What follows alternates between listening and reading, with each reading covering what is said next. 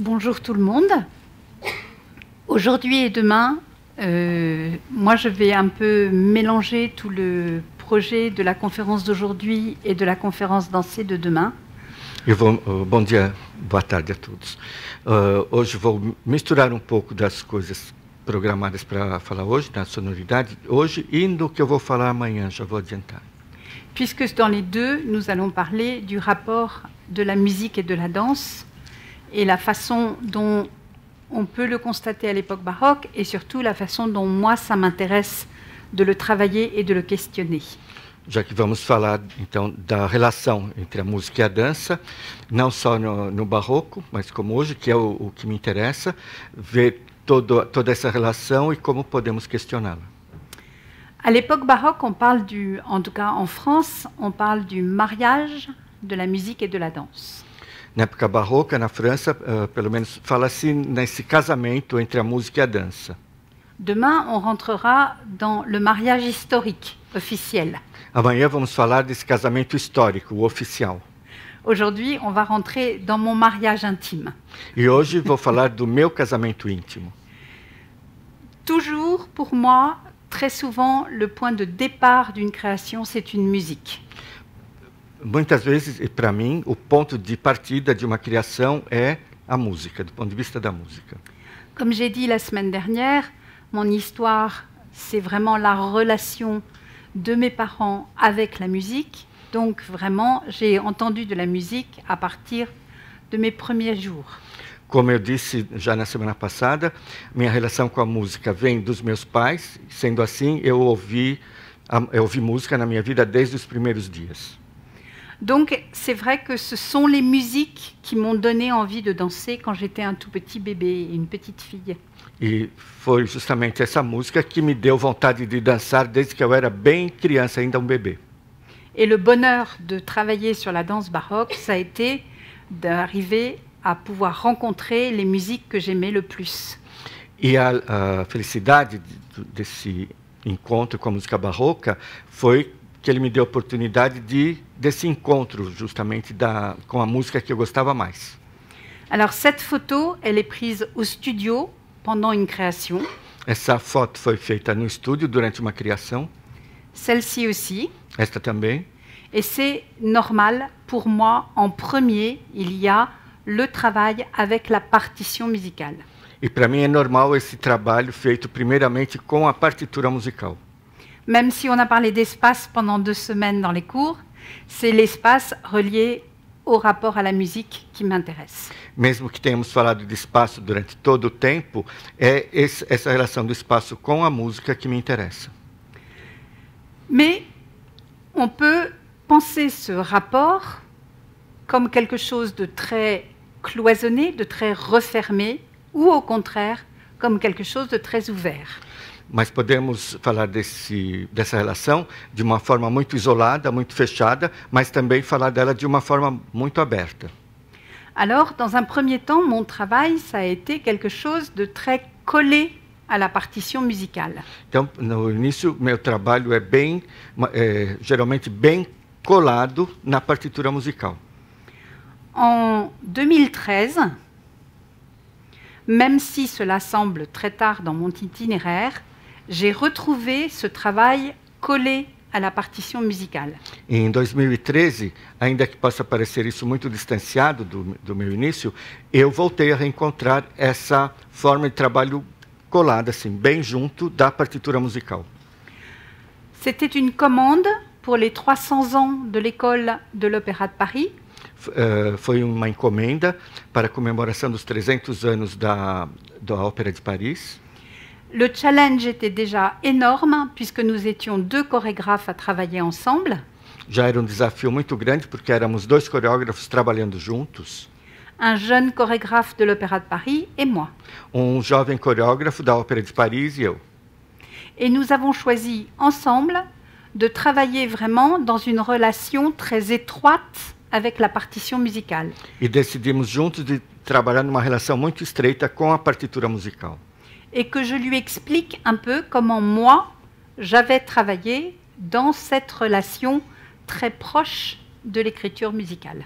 E eu deveria explicar para ele como eu tinha trabalhado dentro dessa relação tão próxima com a partitura musical.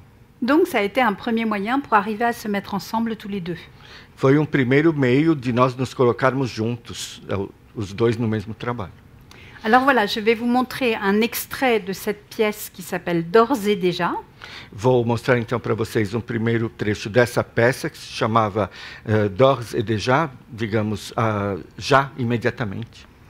qui vraiment pour moi est un exemple de cette façon d'être proche vraiment de la musique. Que era para mim uma forma de estar bem próxima da música.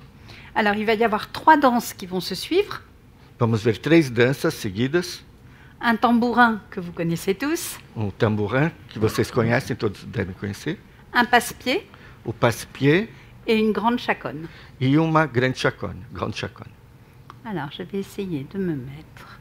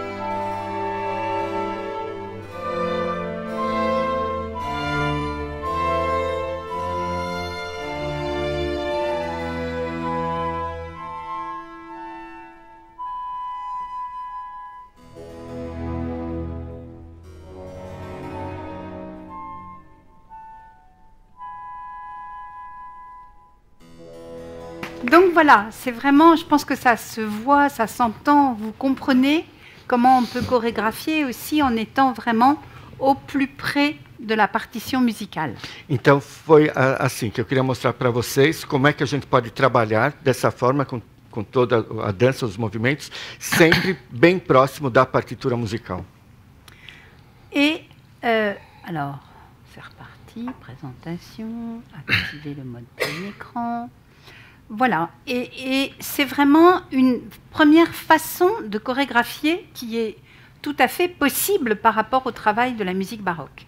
É uma primeira, um primeiro modo de trabalhar, mostrando isso, como isso é bem possível em se tratando da música barroca. On peut vraiment dire que les dix premières années de mon travail de chorégraphe, j'ai vraiment travaillé comme ça. Pode-se dizer que nos dez primeiros anos do meu trabalho de coreógrafa, eu trabalhei dessa forma. Les questions sont arrivées en 2002, au moment de la création de Que ma joie demeure. O, as- a mudança veio, um questionamento, em 2002, com o trabalho na obra Que o Major demeure. En même temps, j'avais vraiment analysé la partition musicale à ma façon. hein. Je ne suis pas musicologue, je ne suis pas musicienne. hein. Donc à ma façon, à moi. Eu, então, examinei a partitura musical da minha maneira. Eu não sou uma musicista, não sou especialista na música, mas, então, trabalhei sobre a partitura ao meu modo. Ma façon de travailler, c'est de colorier. Ça m'aide à comprendre. E a minha forma de trabalhar é colorindo, isso me ajuda. Alors par exemple, sur ce que l'on a travaillé hier au studio pendant mon cours, Então, em relação ao que nós vimos ontem no estúdio du- durante a minha aula, vous voyez comment ici, là, il y a un premier thème sur les deux premières mesures. vocês veem que aqui tem um estudo sobre o primeiro tema, primeiro- os primeiros compassos. Un deuxième qui vient sur les deux mesures suivantes. O segundo que vem nos dois compassos seguintes. Un troisième qui ressemble au premier, un peu symétrique, notre histoire de la symétrie d'hier, qui apparaît sur les deux mesures d'après. Um terceiro que vem se juntar e que é bem simétrico, conforme nós vimos ontem, sempre ne- nessa simetria, na, na partitura, nos compassos seguintes. Encore un autre thème sur les deux mesures suivantes. Ainda um outro tema nos dois compassos seguintes. Et un thème ici qui va revenir très très souvent aussi et qui est encore sur les mesures suivantes. E um outro tema que vem eh, se juntar aqui no final, que também vai ser usado du- nos dois compassos seguintes. On est donc chez Jean-Sébastien Bach et là, cette fois-ci, vraiment, sa décision, c'est de prendre toujours des phrases qui ont la même durée. Então, aqui estamos trabalhando na, numa partitura de Johann Sebastian Bach e a ideia dele é trabalhar sempre com, essas, ah, com esses compassos que têm a mesma duração. D'accord? Et on peut comme ça développer tout le deuxième, le premier mouvement du deuxième concerto brandebourgeois. Então, assim podemos trabalhar da mesma forma em todos, todas essas sequências da obra. Quelle est l'œuvre? Deuxième concerto O, brandebourgeois. o, do segundo concerto do, do, de Brandemburgo. Et voilà, on peut construire comme ça. Et j'ai construit comme ça. Então, podemos construir a coreografia dessa maneira. Eu construí assim. Mais si je voulais vraiment donner toute l'énergie de la danse et la puissance de la danse dans Que ma joie demeure, il fallait que je trouve une autre solution. Mas se eu quisesse dar toda a energia, toda a força da dança naquela coreografia do que o Major demeure, eu teria que encontrar uma outra solução. L'idée n'était pas qu'on illustre juste Bach, A ideia não era só ilustrar, Bach, mais qu'on donne aussi une puissance de la danse avec cette musique. Mas também dar também essa potência da dança com essa música. Alors la solution est venue pour moi, en cherchant, en cherchant, en cherchant, à un moment où je me suis dit, il faut que ce soit la danse qui accumule toute l'énergie et la musique qui vienne se poser sur la danse, et pas le contraire. Então, ah, a ideia que eu tive para mim foi bem essa, de deixar se acumular toda essa força, essa energia da dança, deixar fluir bastante, para depois a música vir cobrir, vir por cima dela. Donc d'un seul coup, ça me donnait aussi la possibilité de tenter un travail que je n'avais encore jamais essayé, Então, isso me deu, de repente, a oportunidade de tentar fazer um trabalho que eu não tinha ainda tentado fazer, c'était de construire la danse baroque en silence. Era de construir a dança barroca em silêncio, no silêncio. Que l'on sonorise le sol Que se sonorize o chão, o piso, et que les pieds des danseurs deviennent la partition musicale aussi. e que os passos, os pés dos dançarinos se tornem também parte daquela música, da partitura musical. Si on faisait naître la danse en silence, si on faisait naître le son de la musique des pas dans le silence, on allait pouvoir après amener la musique de Bach. Então, começando a música apenas pelos passos, pelo ruído dos passos do- no chão, nós iríamos depois poder fazer surgir a música de Bach. Ça a été un travail très périlleux avec les danseurs au démarrage. Foi um trabalho muito perigoso, muito arriscado com os dançarinos no início. Euh, les danseurs avaient du mal à être ensemble en silence, ça se travaille, vous le savez. Os dançarinos tinham dificuldade em fazer aquilo em silêncio, isso é uma dificuldade, vocês devem saber também.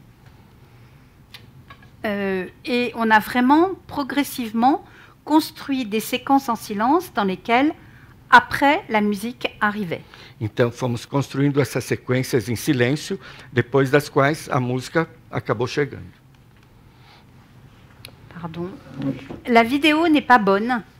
O vídeo não é tão bom, parce que j'ai décidé de vous montrer ce qui est notre plan de travail à nous, les danseurs, eu quis mostrar para vocês qual é o nosso plano de trabalho, c'est-à-dire le plan large qui a été pris pendant un spectacle, que é o plano mais largo que nós usamos no espetáculo, euh, mais pour que vous puissiez voir l'écriture. mas é para que vocês consigam ver a escrita também. On est dans la première séquence qui est en silence. Toutes les phrases ont la même durée. Estamos na primeira sequência que é totalmente em silêncio, todas as frases têm a mesma duração, La même durée qui est celle qui va être celle après de toutes les phrases qui vont être dans la partie du deuxième concerto brandebourgeois. que é sempre a mesma duração, que vai estar presente também depois na segunda parte, que é o próprio concerto de Brandemburgo, segundo. Donc dans le silence, il y a même des phrases chorégraphiques que l'on va retrouver après avec la musique. Então, na sequência, nós temos as mesmas frases coreográficas que depois nós vamos encontrar com a música.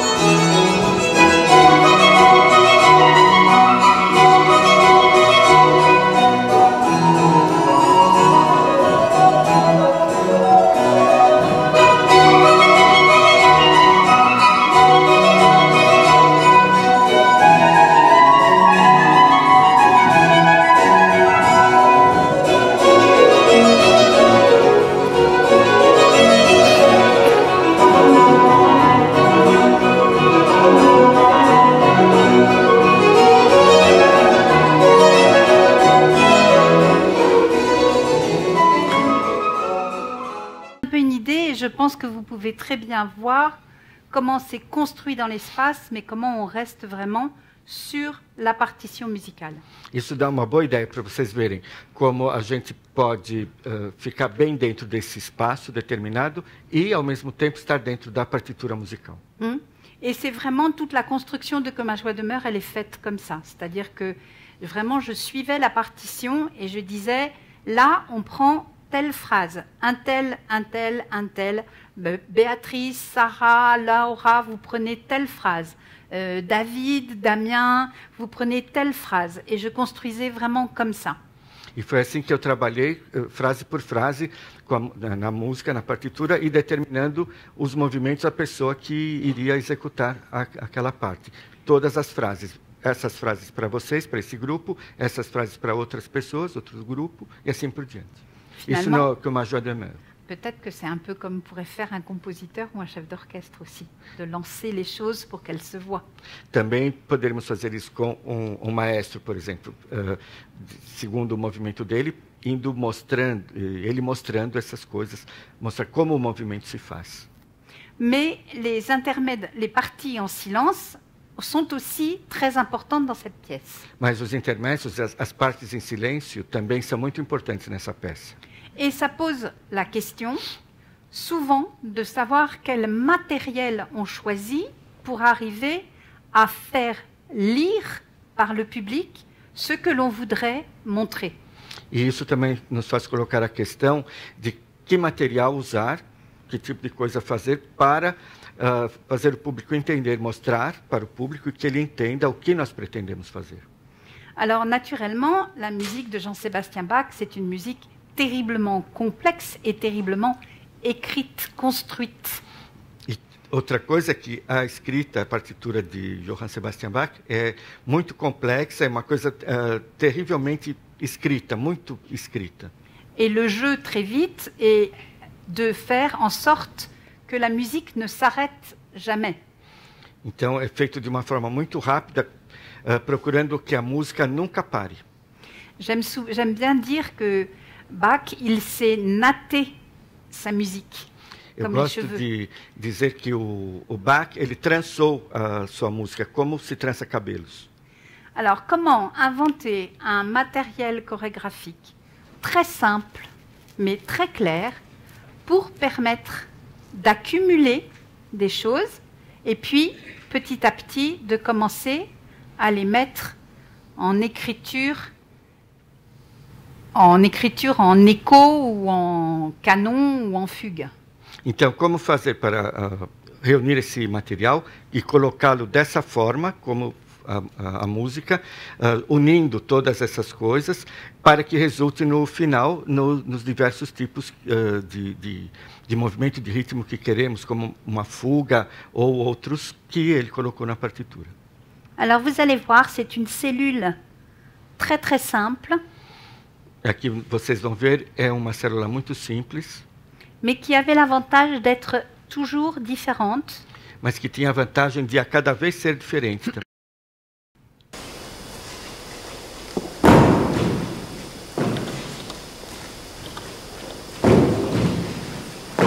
Un, deux, trois, quatre, six, sept.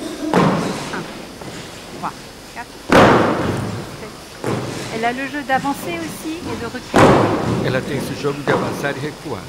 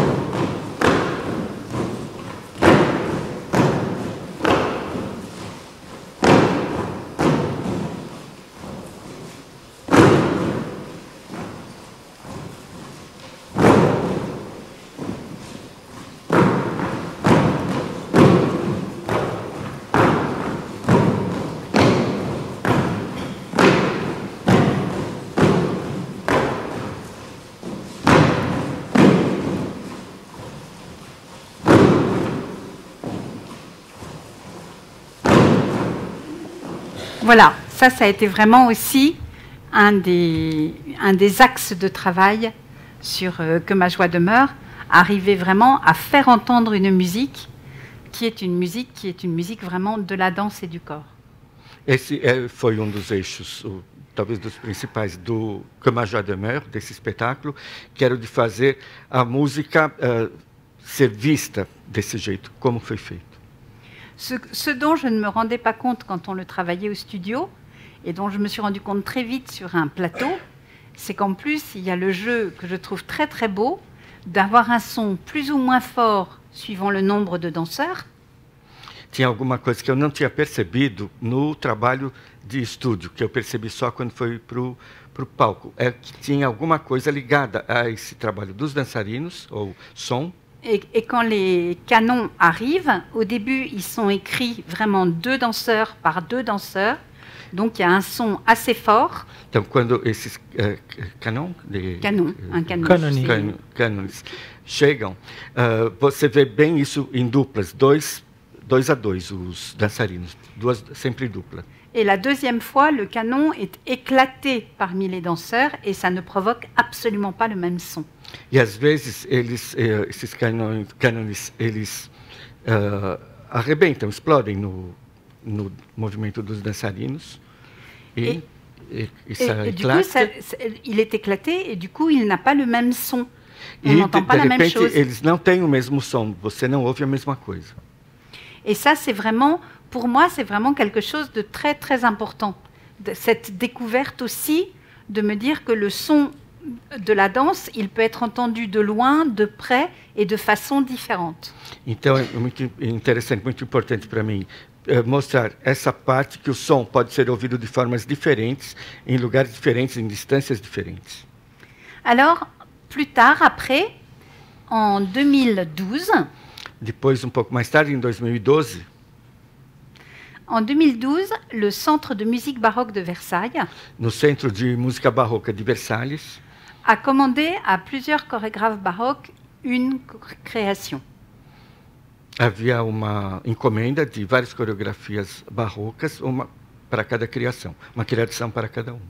Et moi, ils m'ont bien dit, toi, tu es la moderne des chorégraphes baroques. E para mim eles disseram que eu era a moderna das, das coreógrafas, entre os coreógrafos barrocos. Je suis pas très, je sais pas encore si c'était vraiment un compliment. Não tenho certeza se era um cumprimento, um elogio. Mais enfin voilà. Et j'ai eu envie de travailler avec Christophe Rousset, qui était le chef d'orchestre, E eu tive vontade de trabalhar com o Christophe Rousset, que era o maestro. On a travaillé autour de l'image de Terpsichore, la muse de la danse, Então trabalhamos em torno da figura de Ma, Ma, Maxi, Maxicor, que é a musa da dança, et surtout autour de Marie Salé, e sobretudo em torno de Marie Salé, fameuse danseuse, uma qui a famosa décidé d'être une femme libre. dançarina que havia decidido ser uma mulher livre naquela época. Moi, j'ai choisi de travailler sur une première partie de musique française Então decidi trabalhar numa primeira parte de música francesa, com música francesa, et une deuxième partie sur une musique de Handel. e na segunda parte com uma música de Handel. Je voulais unir les deux, Queria juntar as, as duas. donc j'ai décidé de travailler sur le travail du peintre Então decidi traba eh, trabalhar sobre o trabalho de um pintor et de comprendre comment le peintre travaillait sur une esquisse, sur un premier dessin, e entender como o pintor trabalha num primeiro esboço, num primeiro desenho, souvent très raffiné, très précis, geralmente muito refinado, muito preciso, avant d'arriver à la grande toile peinte. antes de chegar naquela grande tela pintada. Donc finalement, Terpsichore, ça pourrait être de l'esquisse à la peinture. Então a Terpsichore poderia se tratar, no caso, de um esboço para a grande pintura depois, posterior. Musique française très précise, très dessinée, très presque miniaturisée. Música francesa, bem precisa, muito refinada, quase miniaturizada. Handel, phrase plus large, musique orchestre plus important, tout ça, ça fonctionnait très bien. Então, chegando a Handel, com frases mais amplas, uma orquestra mais imponente, isso iria fazer esse caminho muito bem, mostrar isso muito bem. Voilà les costumes de la première partie, de l'esquisse, Esse é o figurino da primeira parte, daquele esboço, sur une musique de Jean Ferry Rebelle, com uma música de Jean Ferré Rebel, et la deuxième partie avec le tableau et les couleurs. e a segunda parte com o quadro e as cores. Alors voilà, j'ai eu un problème et je voulais résoudre ce problème. Ali eu tive um problema e eu queria resolver esse problema justamente. Toute la musique baroque française est souvent faite de très petites sections musicales. Toda a música barroca francesa é feita de pequenas sessões musicais. Perdurance des danses de bal et de la tradition des danses brèves. Perdurance, as, as danças de baile e a tradição da música breve, da- das, das sequências breves. Après plus de 20 ans de chorégraphie baroque, moi j'en ai assez des toutes petites formes et de respecter les formes musicales. E depois de 20 anos de música barroca, eu já estava bem cansada de, das pequenas formas e das pequenas sequências musicais.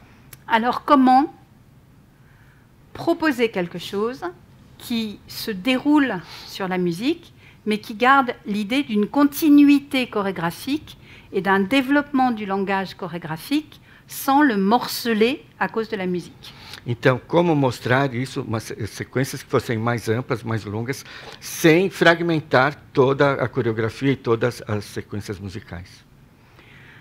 Je suis partie du principe que j'allais construire la chorégraphie comme une très grande œuvre musicale. Então, partir da ideia de construir uma coreografia como uma grande obra musical. J'ai donc choisi ce qui s'appelle en musique baroque un ostinato, une basse obstinée, Então, eh, busquei o que se eh, chama na música barroca de um obstinado, ostinato o, do italiano, do italiano. basse obstinée. Baixo, baixo obstinado. Et sur cette basse obstinée, j'ai construit des grandes phrases. E sobre ele construí grandes frases qui étaient tantôt binaires ou ternaires, que eram, fosse binária ou ternária, eram binárias ou ternárias, qui allaient donc pouvoir se poser sur des musiques aussi bien binaires que ternaires. que iriam poder ser colocadas sobre música, fosse binárias, fossem ternárias. Les grandes phrases, c'était pour le Handel, As grandes frases eram para Handel et sur le rebelle, e no eh, Le Rebelle j'ai décidé de prendre que des fragments decidi pegar apenas fragmentos des grandes phrases daquelas grandes frases et de les poser sur la musique de rebelle, comme une esquisse. na música do Rebelle. Comme si j'avais dit, regardez ce détail-là, voilà, c'est ce petit bout de phrase-là. naquele esboço, como se eu dissesse: olhem este detalhe, este trecho de frase aqui. Ça a donné du coup une construction où la musique avait sa place, Isso deu, resultou numa construção onde a música tinha seu lugar, mais le langage chorégraphique avait une autre place. mas a linguagem coreográfica tinha um outro lugar. Et plutôt que d'éclairer la structure musicale, E em vez de esclarecer a estrutura musical, ça m'a donné l'impression que ce qui était beau, c'était les moments où d'un seul coup, la musique et la danse se retrouvaient ensemble et ça faisait plouc. isso me deu eh, essa impressão de que havia momentos em que a música e a dança se juntavam e, e faziam mesmo esse choque, esse encontro. Et surtout, ça m'a permis de développer un langage chorégraphique plutôt que d'être obligé de l'interrompre parce que la musique s'arrêtait et était terminée. E me deu essa chance de fazer esse desenvolvimento eh, coreográfico, em vez de parar a todo momento, interromper ou fragmentar, fazendo a música parar. Alors voilà, j'ai travaillé comme ça, c'est-à-dire j'ai commencé à comprendre quel était le temps de chacune des sections du début, parce qu'il y en avait beaucoup, beaucoup des petites sections. Comecei entendendo qual era o tamanho, qual era a extensão dessas pequenas sessões do início, Et puis j'ai essayé de commencer à comprendre comment je pouvais construire dessus. e depois ver como eu conseguiria ah, construir sobre ela, com elas. Là, c'est une séquence précise, mais je ne vais pas vous la montrer, où vraiment j'ai travaillé sur toutes les mesures à nouveau, Aqui é uma sequência, não vou mostrar todas, mas aqui como eu trabalhei com os compassos novamente. mais une fois que j'allais avoir cette structure, j'allais pouvoir être libre de me dire, ben voilà, j'en suis là, mais c'était juste une indication. J'en suis là dans la musique, j'en suis là dans la musique. E uma vez tendo feito isso, eu não iria ah, exemplificar, mostrar a, a, coisa literalmente, mas me permitia de me guiar, me orientar, sabendo, ah, estou nesta parte, neste ponto, etc. Alors, je vais vous montrer. Voilà, et même chose, même principe, c'est-à-dire j'ai vraiment travaillé sur des grandes fiches comme ça, en essayant de comprendre comment moi, j'allais construire une danse beaucoup plus large sur les structures musicales. E sempre nessas uh, fichas muito amplas, muito grandes, que me davam a ideia perfeita de como eu estava construindo, como iria continuar construindo essa estrutura pra, da música para dança. Alors, je crois que je suis là, je suis au tout début. L'ostinato de la première partie, vous allez tout de suite le reconnaître. Esse ostinato da primeira parte vocês vão reconhecer imediatamente. Alors, vous allez voir, il y a un passe-pied, Vocês vão ver então, temos um passe-pied, une bourrée, um bourré, un rigodon, um rigodon retour de la bourrée. e volta do bourré. Et vous allez voir, l'ostinato, vraiment, on voit les corps, ça donnait l'impression que c'était le sol qui bougeait. On voit les corps qui roulent.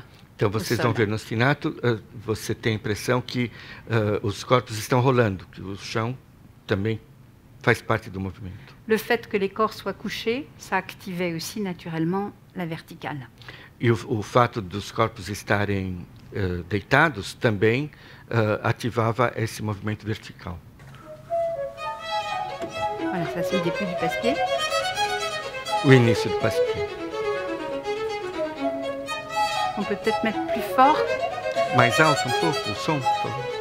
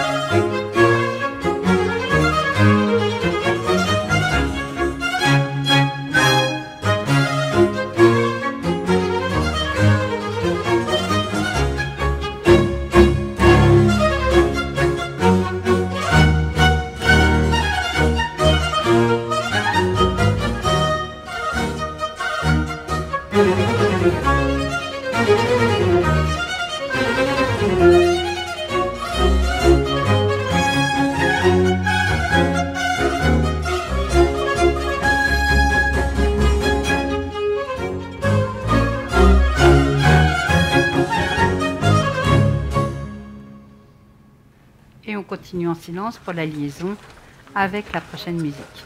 E continua-se em silêncio na divisão até a próxima música. Voilà, et je pense que là, vous voyez, si on repense à d'ores et déjà la première pièce avec euh, l'école de l'opéra, et cette pièce-là, vous voyez à quel point la relation avec la musique est toujours là, mais elle devient d'une autre texture. Então, se vocês compararem a anterior do Dogs e Deja com essa peça, vocês vão perceber que tem esses elementos que estão sempre presentes, mas esse trabalho já mudou bastante, já é outra coisa. C'est une pièce qui, comme je disais euh, l'autre jour, c'est une pièce qui n'a pas eu un grand succès. C'est une pièce qu'on n'est pas arrivé à beaucoup, beaucoup, beaucoup diffuser. Como eu disse no outro dia, essa peça, esse espetáculo não teve um grande sucesso, embora nós tivéssemos feito esforço para difundi-lo.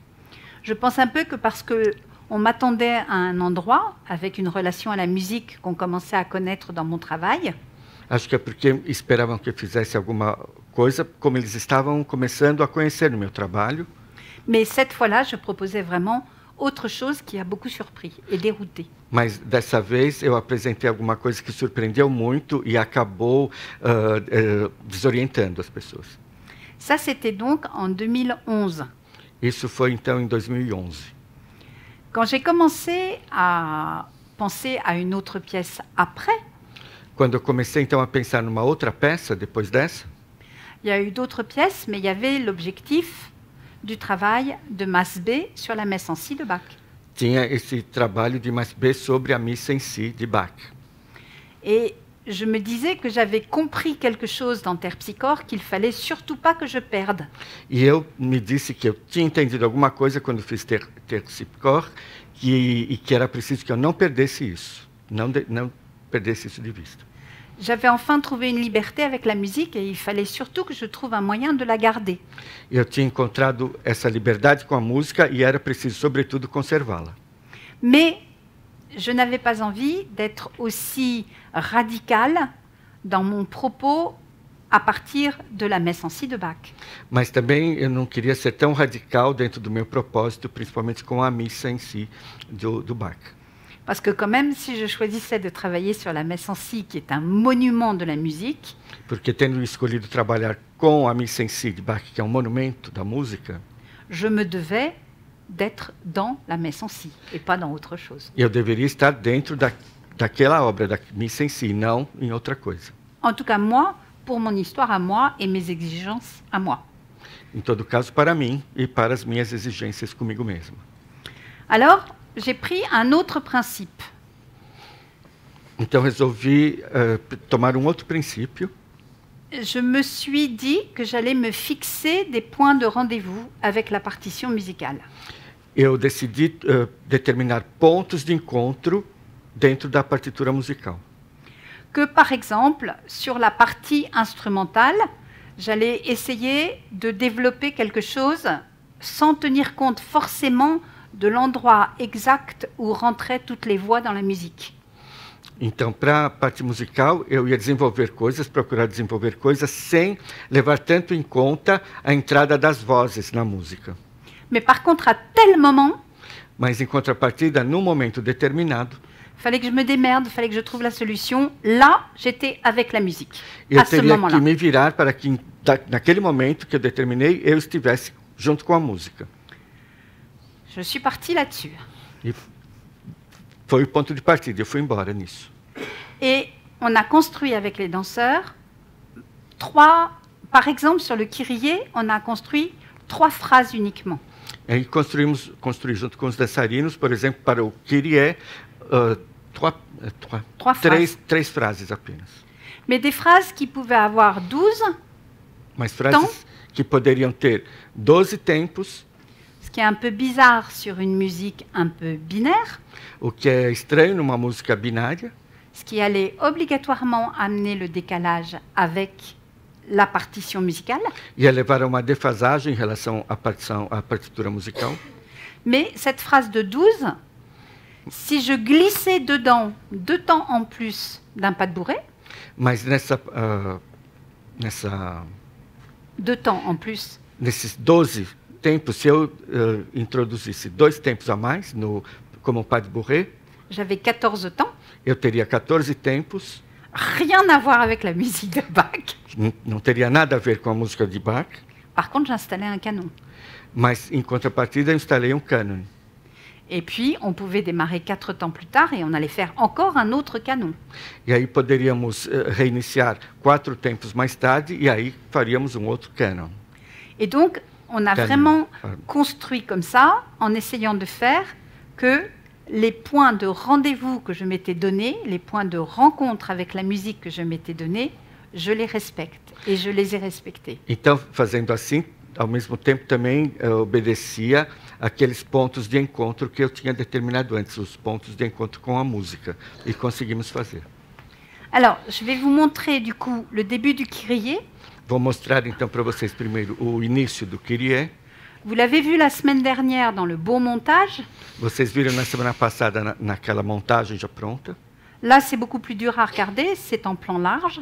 Lá era mais difícil de, de observar, porque era um plano mais amplo. Mais du coup, vous allez voir. Je vais, je vais vous dire. Aqui nesta, aliás. Je crois que c'est pas la peine que, je tradu- que tu traduises. Je vais essayer de vous dire comme ça au fur et à mesure. Voilà le point de rendez-vous. Voilà le point de rendez-vous. Hein Ela vai só indicar cada vez os pontos de encontro. Eu não vou precisar estar traduzindo, porque é a mesma coisa. ah non, c'est pas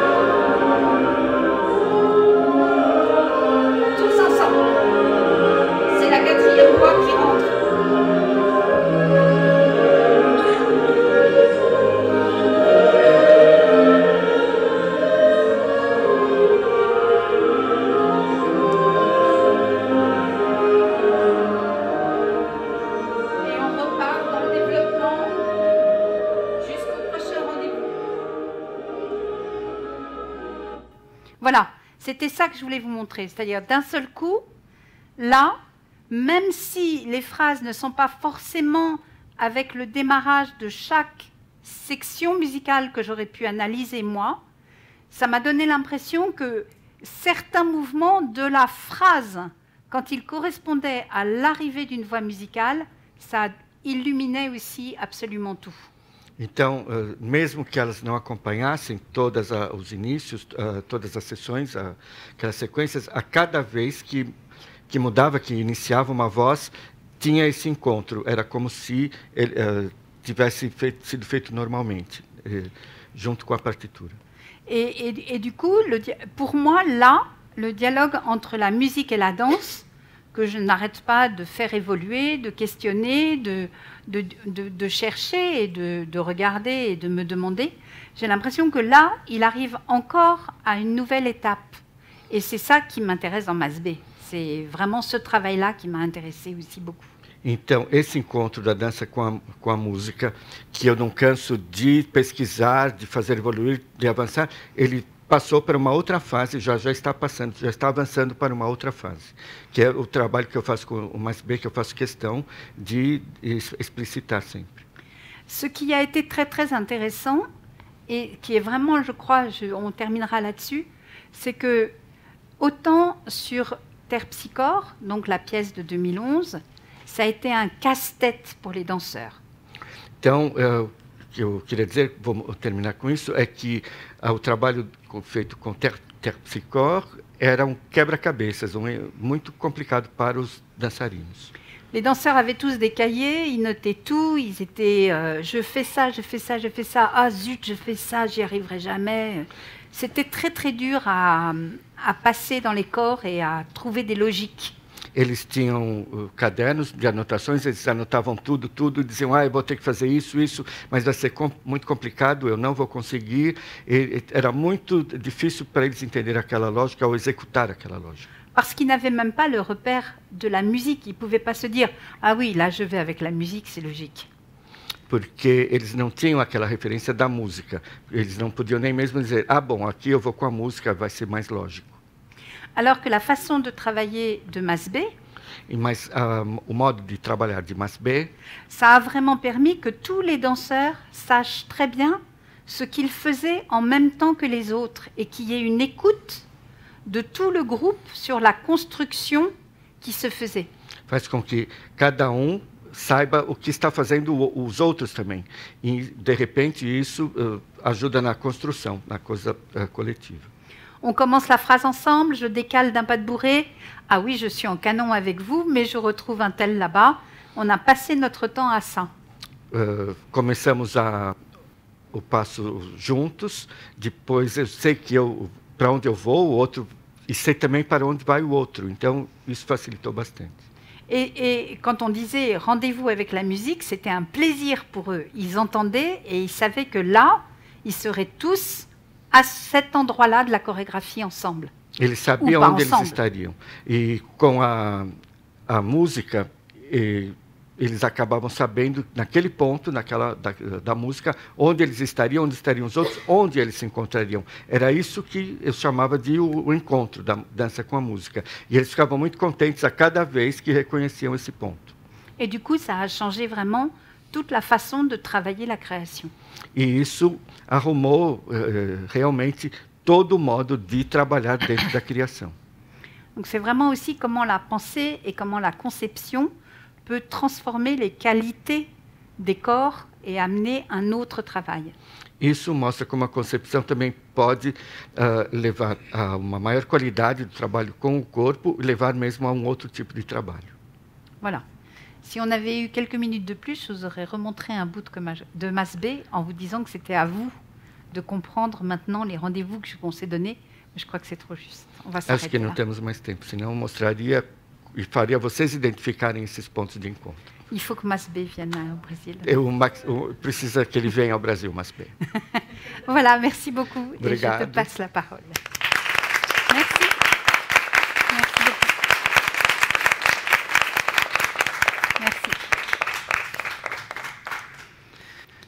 Prazer e que honra ser precedido por uma apresentação dessa, como da Beatriz, que transmite né, e, e carrega a bagagem cultural francesa com uma propriedade realmente maravilhosa, nos mostrando que, que realmente a cultura francesa tem um impacto né, em outras culturas e outros países muito maior do que a gente imagina. Né?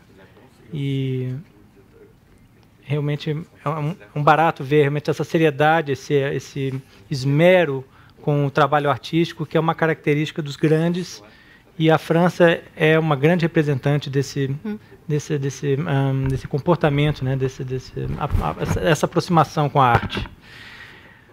Quando eu fui convidado, era para falar sobre as relações entre a, a França e o Brasil, as relações musicais, né? Mais especificamente sobre a, a música barroca francesa e a música barroca brasileira, que a gente deveria imediatamente mudar o nome para música colonial, né? porque não houve uma música barroca aqui no Brasil. Se houve, ela foi toda perdida. Né? E logo eu pensei, é um pouco complicado, né?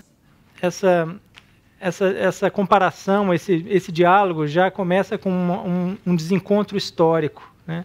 Então, eu acho que o mais importante da gente estabelecer esse possível diálogo é, antes de mais nada, é, fazer uma contextualização, que eu acho que para haver diálogo precisa de uma contextualização, precisa de um cenário né, propício para que o diálogo ocorra. Né? Então, eu, eu vou voltar rapidamente é, no tempo e falar um pouco sobre o estilo barroco, sobre esse período realmente, que foi a primeira vez na história né, da música onde ocorreram vários estilos ao mesmo tempo, estilos regionais, né? Isso foi uma característica desse movimento, né? Que a gente pode mais ou menos datar do início do século XVII, 1600. Nada é assim redondo, né?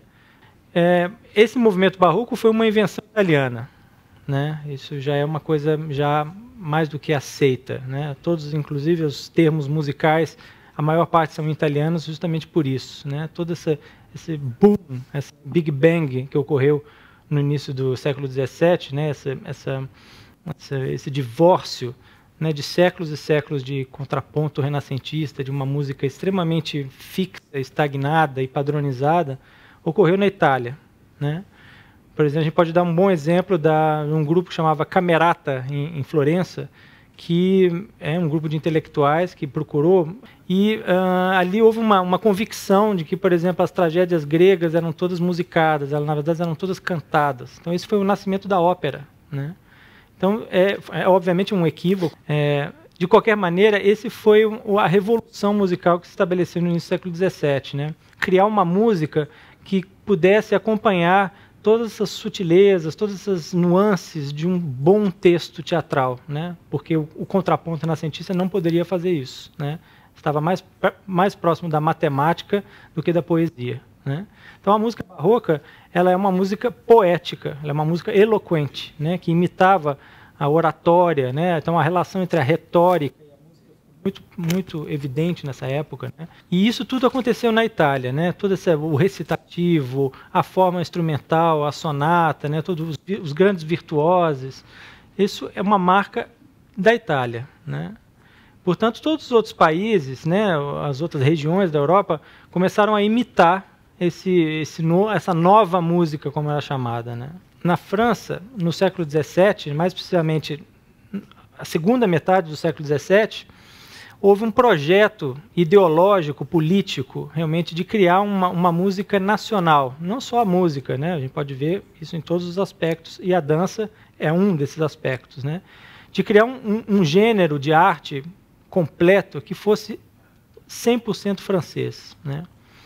Então houve aí uma, uma espécie de divisão. Né? O que antes era completamente em estilo italiano passou a ter uma característica mais nacional, que a gente chamou de estilo francês. Né?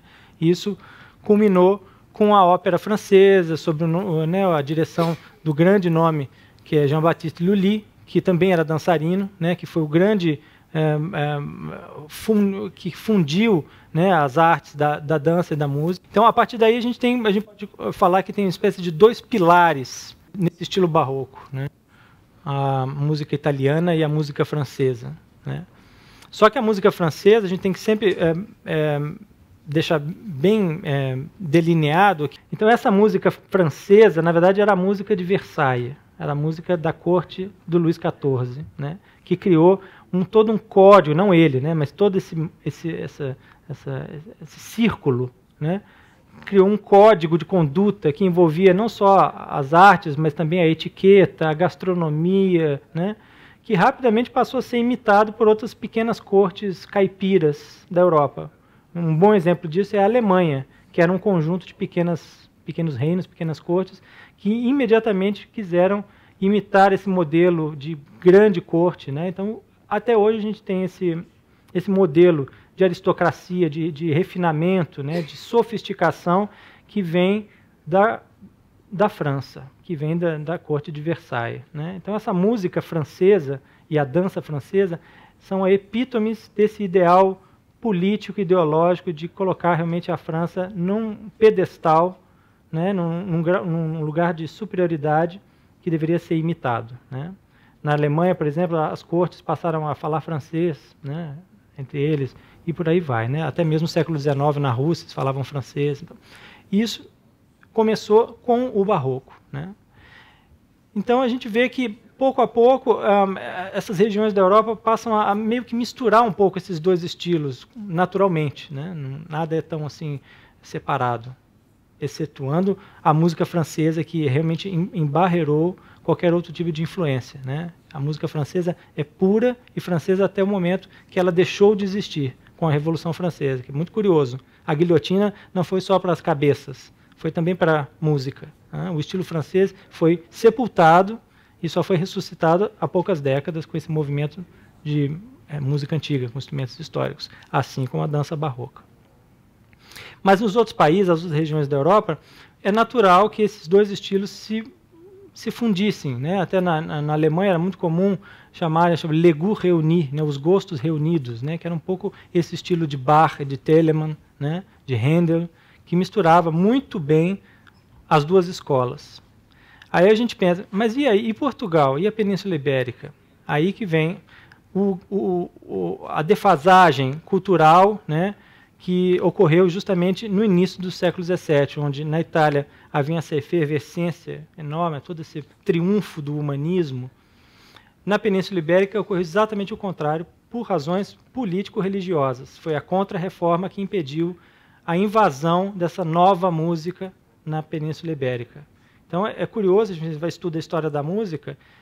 Na Península Ibérica, Portugal e, e Espanha, o repertório local, né, os compositores portugueses e franceses e espanhóis, ah, só usam a técnica do contraponto renascentista. Né? Então, essa defasagem cultural que a gente é, vê até hoje, né, por exemplo, aqui no Brasil, já existia nessa época. Né? Então, por causa dessa esse rechaçamento, dessa novidade, dessa mundanidade, né? dessa aristocracia, dessa sofisticação é, mundana, né? ah, as cortes portuguesas é, mantiveram essa música eclesiástica, essa música secular, né, secular no sentido de, é, né, de, de muito antiga. Né? Então houve uma espécie de uma, um movimento meio, assim, para simplificar, meio careta. Né? Então todo esse a gente pega compositores espanhóis de, do fim do século XVII que compõem no estilo de, de compositores como Josquin Prés do início do século XVI. Né? Isso tem uma explicação. Né? E quando houve pouco a pouco uma, né, uma, uma espécie de osmose para algum tipo de estilo exterior.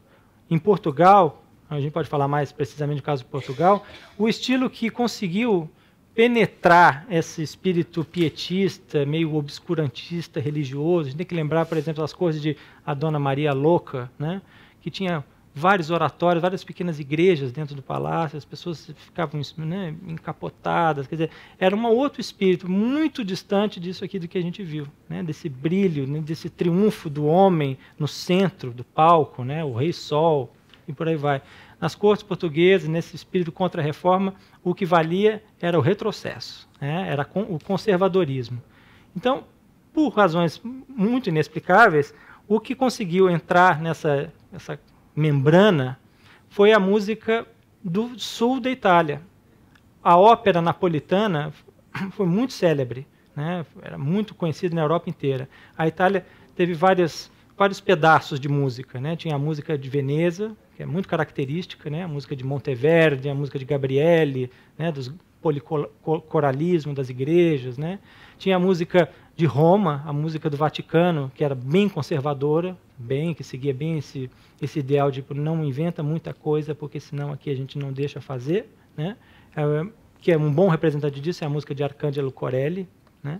e a música de ópera paga, né? a ópera pública, que é a ópera de Nápoles, é realmente uma pioneira nesse sentido, não a única, mas um grande representante. Né? Então esse estilo de ópera napolitano também tem um estilo musical muito particular, muito único, né? Do, dos baixos muito simples, predomínio da melodia, né, de é, cadências harmônicas muito características que se repetem ad nauseam, né, e compositores que é, cunharam esse estilo de uma forma muito forte e definitiva, como Domenico Sarro, é, Francesco Durante, né, é, é, claro, Pergolesi. Né. Então, essa música napolitana do gosto napolitano, que na verdade é uma música até pré-clássica, ela já, ante já antecipa um pouco esse ideal estético que viria a acontecer só mais tarde no norte da Europa, com o classicismo, né? da melodia, do bel canto, dos baixos muito simples. Esse estilo foi o que conseguiu uh, invadir esse, essa membrana religiosa eh, retrógrada da Península Ibérica. Então, o que a gente encontra de música secular, né, de música eh, é, profana em Portugal, a partir do século XVIII, obviamente, é a música no estilo napolitano, copy and paste. E esse copy and paste veio para o Brasil também, mas de uma forma ainda mais capenga, ainda mais precária, porque não só a distância e o tempo fazia com que as coisas perdessem um pouco o, brilho, o vício, né? nada era mais novidade. Né? A gente vê sempre na história da música sempre uma defasagem de até 50 anos né? No, no, início do século XIX, a gente já tinha o romantismo já né, perfumando a Europa inteira e no Brasil ainda se fazia música em estilo clássico ainda. Quer dizer, pelo menos 30 anos de decalagem, de, né, de defasagem. O que piorava mais ainda é que essas, esses centros urbanos brasileiros também eram coisas espontâneas, sem nenhum maior tipo de projeto político e muito menos artístico. Né? Então, o que acontecia de produção cultural, até uma pena que não vi a palestra né, da, da, da Rosana, muito, é, gostaria de saber mais sobre isso. Mas do ponto de vista de material, do que a gente encontra, é, que veio até nós, de partituras, de música, é realmente é uma música, do ponto de vista assim, de técnica de composição, da ciência musical, uma música mais tímida, uma música mais é, pobre. Né? É claro, esses compositores eram, na maioria, libertos, eram músicos livres, né, como é que fala? Eram filhos de né, brancos, nobres, com escravos, né? Eram os que iam fazer as, as profissões liberais, né, de sapateiro, de farmacêutico, de tiradentes né, e de músico. Só que esses músicos, por profissão liberal, muitas vezes aprendiam esse ofício uh, sozinhos, eram autodidatas. Então, é, é um, é, eu acho até uma coisa muito importante quando a gente vai ouvir e executar a música do Brasil Colônia, é a gente deixar essa contextualização muito clara, porque é incrível. Uh, o sujeito do outro lado do planeta recebe, ou recebe, por acaso chega, cai no colo, uma partitura, por exemplo, do Stabat Mater de Pergolesi, que é um cânone da música barroca e da música napolitana, foi imitado também infinitamente até mesmo por Bar, tem uma transcrição do Pergolesi, né? Por acaso uma partitura dessa chega lá em Ouro Preto, né? E esse músico por nascimento, por talento, tem que redescobrir as leis e as, as regras da ciência da música sozinho. É possível. É como a gente decifrar os hieróglifos do Egito. Se você tem um pequeno código de algumas duas, duas três regras, você pode chegar até, né? Mas é um trabalho extremamente árduo e é como reinventar a roda, que era exatamente o que esses mulatos compositores faziam. Então, se a gente coloca a coisa desse contexto, a gente pode falar que são gênios, né? ou são grandes artistas, que, apesar da, da precariedade do entorno, né? da entourage, né? do, do, meio, do habitat, conseguiram produzir muita coisa. Né? É claro que não havia, na minha opinião, nunca uma ambição artística né? é, estética, né, uma posição artística em relação à produção, né, como no caso a gente vê aqui na ópera francesa ou no início do barroco, né, do projeto artístico e por aí vai. A música, no caso, estava ligada a uma função, né, é um ofício. Né. Então, todas as missas tinham que ter a sua música, então tinham que ter o seu compositor, e esse compositor tinha que compor alguma coisa, e essa música tinha que ser tocada. Né. Então, é, há uma grande diferença daquele gente querer buscar uma genialidade que não existe numa música que a gente tem um certo carinho por ser nosso patrimônio. Né?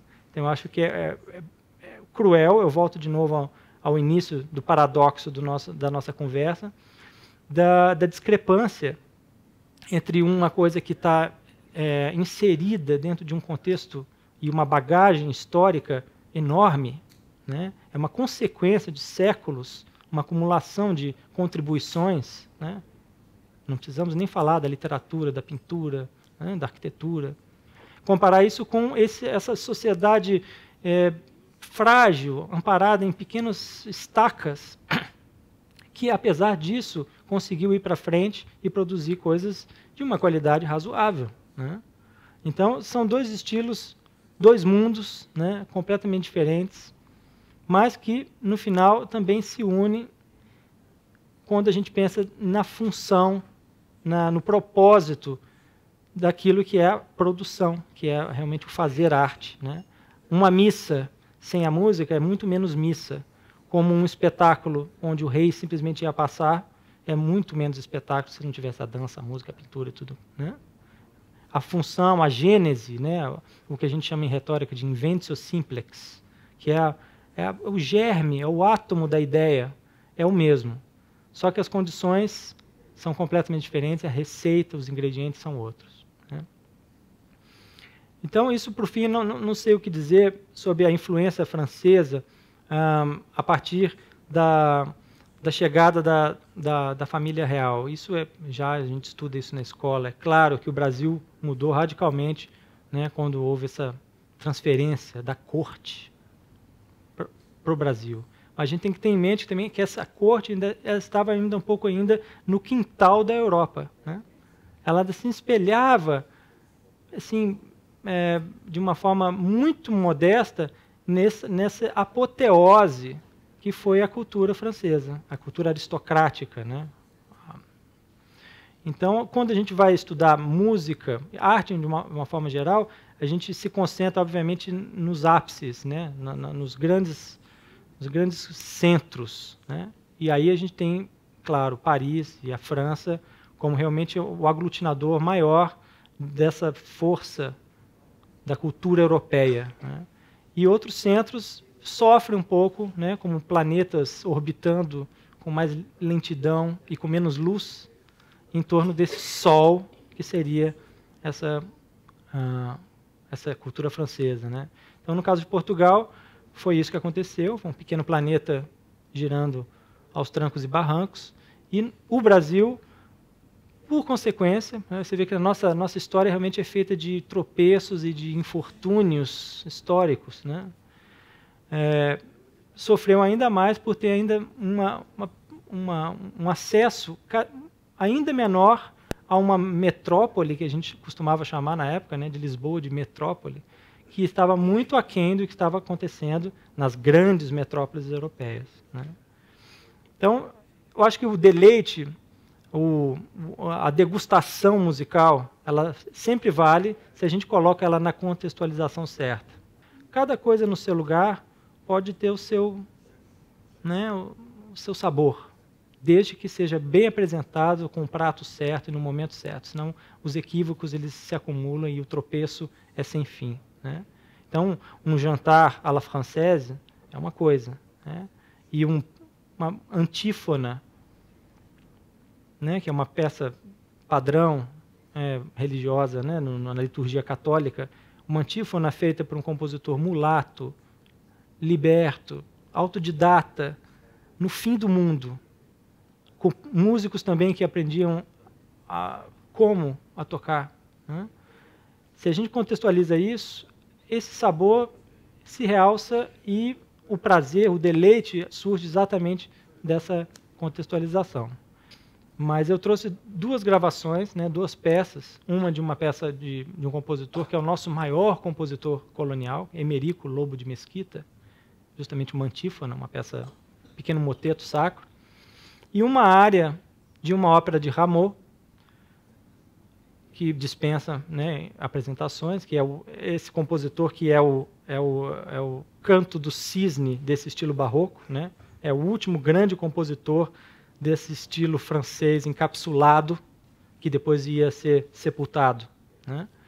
Essas duas peças estão distantes cronologicamente muito pouco, né? coisa de 20 anos, mais ou menos mas os mundos e o estilo são realmente opostos, né?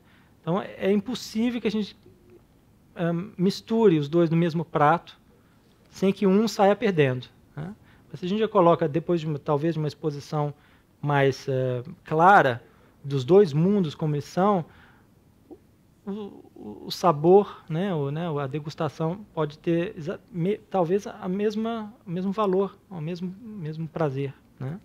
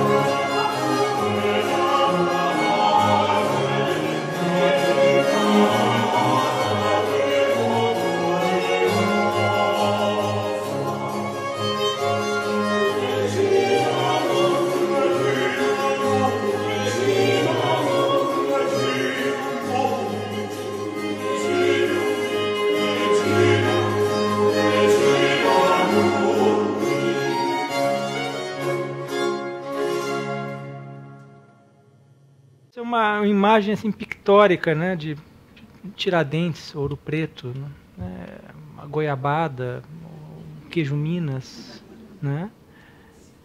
É, assim, para mim, do ponto de vista assim, de degustação musical, imediatamente eu me remeto a esse tipo de circunstância, esse tipo de atitude artística, né? né? Da simplicidade, né? da, da, da, da precariedade feliz, né? Desse tipo de vida que acontecia nessa época, né? E o, uh, o espanto, né? Da gente saber que esse compositor aprendeu a fazer isso tudo sozinho, né? Vocês terem uma ideia, uma coisa que é, agora é uma espécie de cânone na musicologia né, atual aqui no Brasil é de não corrigir os erros desses compositores, porque se a gente começa a corrigir a gente não para mais. Né? Certos erros, por exemplo, são erros meio assim, de, fazem parte de uma espécie de informação oculta da ciência musical, ou seja, não são tão evidentes quando a gente vai tentar juntar, copiar lá a música e, né, e como é que faz dó, mi, sol. Né? Uma coisa que, que a gente só aprende quando a gente tem um professor é, são as quintas e oitavas paralelas, é uma coisa que é um terror quando a gente vai estudar composição, que é realmente uma coisa que a gente tem que evitar e não tem tanto efeito assim imediato. Com o tempo a gente consegue a, a, a se refinar e exigir que isso realmente não aconteça, porque faz um pouco de diferença ou muita. Né? Mas isso não, não está em. Na, o compositor, quando entrega a partitura, ele não mostra, olha aqui. Né? E o que a gente mais encontra nessas partituras são quintas e oitavas paralelas. Né? É o compositor autodidata que tinha total desconhecimento de que isso era proibido. Né? Porque quando a gente não sabe que uma coisa está errada, a gente faz. Né? Até a hora que um código de conduta fala que aquilo não pode. Né? Então a grande diferença dessa música brasileira dessa época é esse cheio de ah, desculpa, eu não, não sabia. Né? E a, a, a, oposição maior com essa música europeia é que tudo não pode porque já foi feito. Olha bem, né? tem uma bagagem cultural aqui que você tem que respeitar, né? toda é, uma espécie de ética musical que estava presente desde uma pequena dança, como gente puderam ver com a Beatriz, né? ou de grandes peças né? de grande, larga escala. Né? Quer dizer, um, o, o esmero né, com o detalhe, com a regra, né, com a precisão, né, e até mesmo em outros planos, né, esotéricos, como a música de bar, que fazia constantes alusões é, místicas, né, através dos números, né, através das palavras, através das figuras musicais. Né. Então são vários planos de sofisticação que estão completamente ausentes na música brasileira dessa época. Né. Eu vou colocar então aqui a, essa área de uma ópera de Rameau, é uma área em estilo italiano. Já mostra que mesmo na França, esse estilo italiano já também invadiu. Né? Mas ainda assim, tem muitas características francesas, né? do, do ritmo, da declamação, do texto. Mas a forma é italiana.